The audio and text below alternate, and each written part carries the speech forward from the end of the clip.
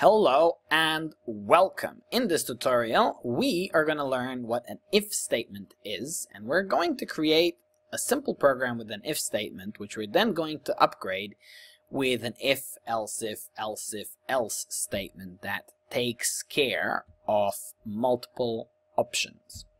So let's just go back to our very simple greeting program. So we can just go and print something like hello human what is your name?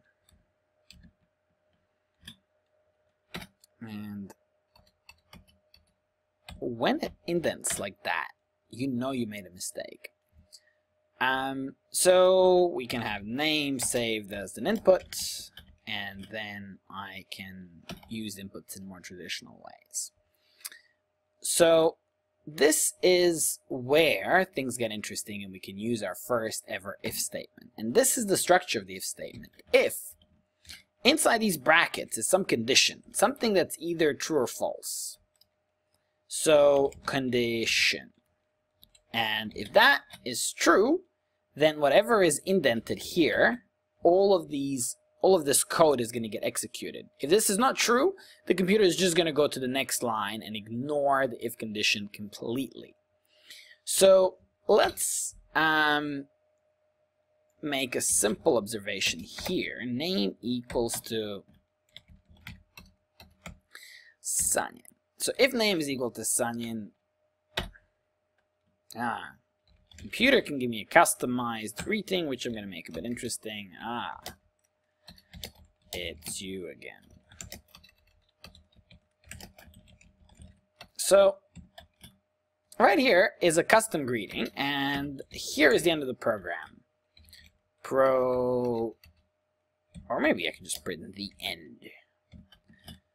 So, if we type in anything other than Sanjin for the name, and by the way, I just assigned Sanjin to the name, and thankfully the error came up. In many programming languages, no error is going to come up, and this is really going to put a spanner in your works. You need a double equals. So a double equals gives you a, a, can, a sort of an output which is either true or false. So just like that example, if x equals to 5, you know, x double equals anything. Bob is either going to return true or false, except Bob is a variable name. So if, if x double equals to some string, Bob, BPB, that's false. If x double equals to any number that's not 5, that's false. But if x double equals to 5 and it's a perfect match, then that's true. And this double equals is a condition. This is also a condition. x is bigger than 2. That's also true. Okay, so let's run this thing. Hello human, what is your name? And I'm gonna say Sanjin. Ah, it's you again, Sanjin. The end. And if I run this, and I say Bob, the end. So it simply ignores this line of code.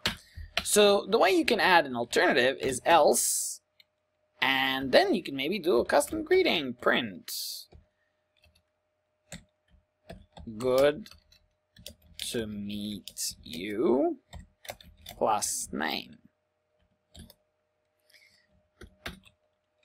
So now if it's Bob, good to meet you, Bob. The end. So the last thing that we have to integrate, if I bring back up our learning intentions, is an if-else-if branching structure.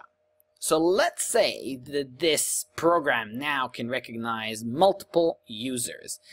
Um, let's say Sanyan, Bob, and Alice are all sort of, um, you know, familiar to the artificial intelligence. And anyone else is going to get this generic good to meet you greeting. Okay, let's have a look at that scenario. So we have, instead of else, we can have an elif statement. This is going to be just like another if statement. And we can say name double equals to Bob. So that's going to be a custom response. Then you can add another one. And this is, oops. I was going to say this is a good opportunity to do some copying and pasting, and it went wrong. And we can add Alice here. And Bob's to say, Hey, Bob! How's it been? It's a friendly AI. Alice? Alice, you are the best ever of all time. And maybe, why not for the final option?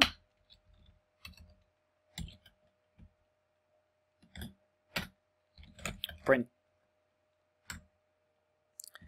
I don't know you.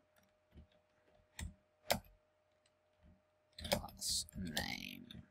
Plus go away. Alright. When I teach sort the primary aged students, they always make it the meanest kind of computer to talk to. Okay, let's test this out. So we're to test all three scenarios. Sanjin, it should be a custom greeting. Hello, it's you again, Sanjin. Good. Alright, we're to try Bob. Hey, Bob, how's it been? Now we're to try Alice. Alice, you're the best ever of all time. Great. And finally, we're going to try someone else. I don't know you, someone else, go away. Good, good, perfect. And just one last thing worth trying out.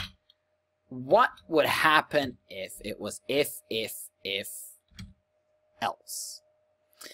Maybe some of you already know, but then this if else is a package.